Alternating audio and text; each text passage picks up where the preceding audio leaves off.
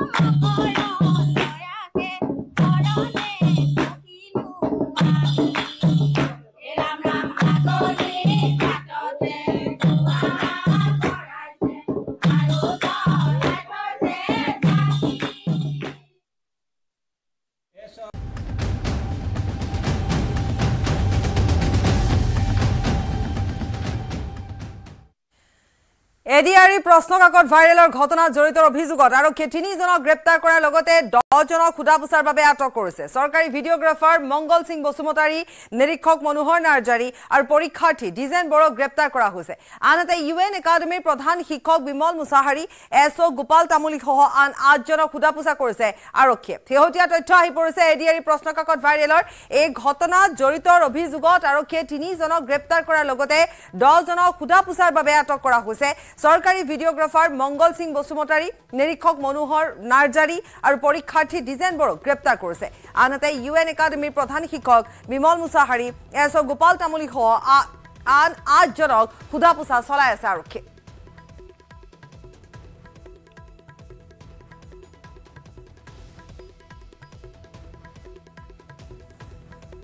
আৰু উল্লেখযোগ্য যে ধেমাজিৰ চিমেণ্ট চাপৰিৰ উপেন্দ্ৰ নেশ্যনেল একাডেমীৰ পৰা ভাইৰেল হৈছিল প্ৰশ্ন কাকত পৰীক্ষা কেন্দ্ৰটো চৰকাৰী ফটোগ্ৰাফাৰ ৰূপে নিযুক্তি দিয়া মংগল সিং বসুমতাৰীয়ে ফটো তুলিছিল প্ৰশ্ন কাকতৰ ভিডিঅ' কৰিছিল আৰু তাৰপিছত পি ডি এফ যোগে ভাইৰেল কৰিছিল।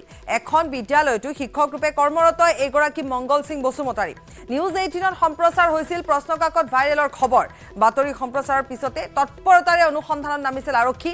পৰীক্ষা কেন্দ্ৰটোৰ মোবাইল ফোন লৈ প্ৰৱেশ কৰিছিল চৰকাৰী ফটোগ্ৰাফাৰজনে। মোবাইল ফোন লৈ চৰকাৰী ফটোগ্ৰাফাৰজনে পৰীক্ষা কেন্দ্ৰটোত প্ৰৱেশ কৰিছিল।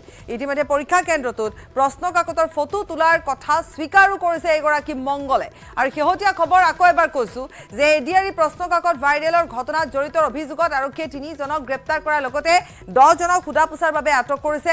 চৰকাৰী ভিডিঅগ্ৰাফাৰ যি মোবাইল লৈ প্ৰৱেশ কৰিছিল সেই মংগল সিং বসুমতাৰী নিৰীক্ষক মনোহৰ নাৰ্জাৰী আৰু পৰীক্ষাৰ্থী ডিজেন বড়োক গ্ৰেপ্তাৰ কৰা হৈছে। আনহাতে ইউ এন একাডেমীৰ প্ৰধান শিক্ষক বিমল মুছাহাৰী এছ অ' গোপাল তামুলীসহ আন আঠজনক সোধা পোছা চলাই আছে আৰক্ষীয়ে।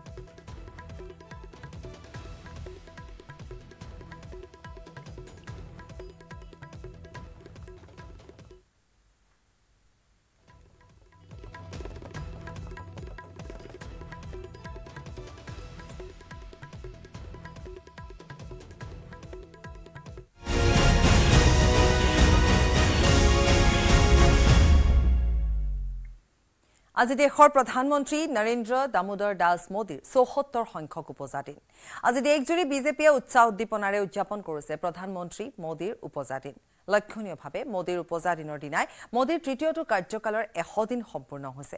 প্ৰধানমন্ত্ৰীগৰাকীৰ চৌসত্তৰ সংখ্যক উপজা দিনটোত আৰম্ভ হৈছে ছেৱা পখৱাৰা অভিযান।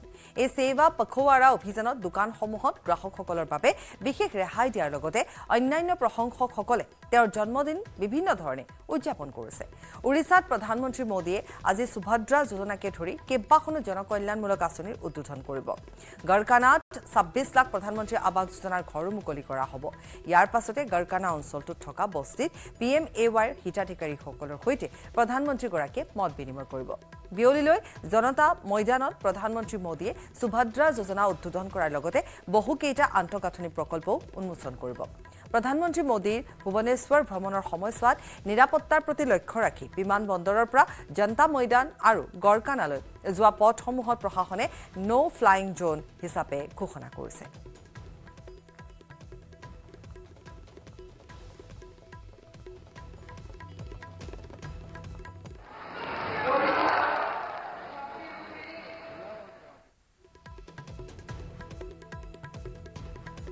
আজি চৌসত্তৰ সংখ্যক উপজা দিন প্ৰধানমন্ত্ৰীগৰাকী সেই অনুপাতে বহুখিনি ইতিমধ্যে বিভিন্ন ধৰণৰ আয়োজন কৰা হৈছে। বিভিন্ন ধৰণৰ কাৰ্যসূচী আছে বিভিন্ন ধৰণৰ অনুষ্ঠান আৰম্ভ কৰা হৈছে। যিসকল বিজেপি কৰ্মকৰ্তা আছে তেওঁলোকেও উৎসাহ উদ্দীপনাৰ মাজেৰে আজি দিনটো পাৰ কৰিছে।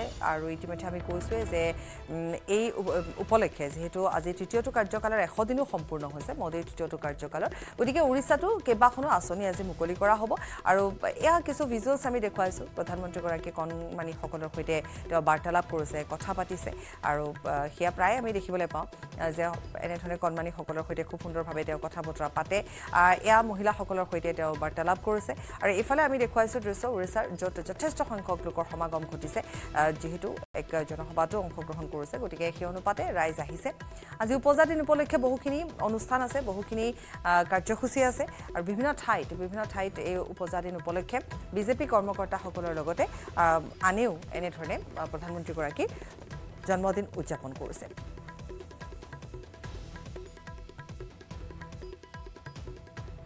प्रधानमंत्री मोदी जी का जन्मदिन है पूरे देश में कई संस्थाएं ये जन्मदिन को सेवा पखवाड़े के नाम से मनाने का निर्णय किया है जो हर साल करते हैं 17 सितंबर से 2 अक्टूबर ये 15 दिन देश भर के सभी जरूरतमंद लोगों की सेवा में हमारे जैसे कई कार्यकर्ता इसको लगाएँगे। प्रधानमंत्री जी, एक छोटे से गाँव के गरीब परिवार में जन्म लेकर दुनिया के सबसे बड़े लोकतंत्र के प्रधानमंत्री बने। न केवल प्रधानमंत्री बने 10 साल में दुनिया भर से 15 अलग अलग राष्ट्रों ने इनको अपना सर्वोच्च पुरस्कार देकर न केवल प्रधानमंत्री जी, हमारे देश का गौरव बढ़ाया है। आज देश की 140 करोड़ की जनता बहुत मन के साथ इनके दीर्घायुष के लिए प्रभु प्रार्थना कर रही है। मैं और अश्विनी जी भी वो प्रभु प्रार्थना के साथ अपने आप को संबद्ध करते हैं। मगर आज मैं बहुत फक्र के साथ कह सकता हूँ कि भारत पूरी दुनिया में उत्पादन का सबसे चहेता केंद्र बन चुका है और ये वास्तविकता है। हमारी डिजिटल इंडिया की योजना को दुनिया के कई देश समझना भी चाहते हैं, स्वीकारना भी चाहते हैं और उसको अपने विकास का आधार भी बनाना चाहते हैं।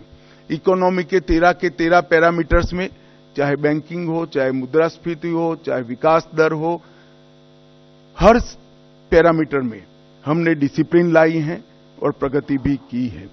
अंतरिक्ष के क्षेत्र में आज सभी लोग भारत को, भारत का अंतरिक्ष के क्षेत्र में भविष्य उज्जवल है, इसको एक्नोलोज एक्नोलेज करते दस वर्ष में आज़ादी के बाद पहली बार दुनिया ने रीढ़ की हड्डी वाली विदेश नीति को देखने का मौका मिला है। भारत की विदेश नीति में मेरे जैसे कई लोगों को रीढ़ की हड्डी दिखाई नहीं पड़ती थी। अब भारत की विदेश नीति में रीढ़ की हड्डी दिखाई पड़ती है। दस साल में देश के साठ करोड़ गरीबों को, एक ही दस साल में घर, शौचालय, गैस, पीने का पानी, बिजली, पाँच किलो मुफ़्त अनाज और पाँच लाख तक की स्वास्थ्य की सुविधाएँ देने का काम नरेंद्र मोदी जी ने किया है और हमें लक्ष्य लेकर चले हैं कि अगली बार जब चुनाव में जाएंगे इस देश में कोई व्यक्ति घर बगैर का नहीं ইয়াৰে সৈতে দুপৰীয়া সংবাদৰ পৰা বিদায় লৈছো নমস্কাৰ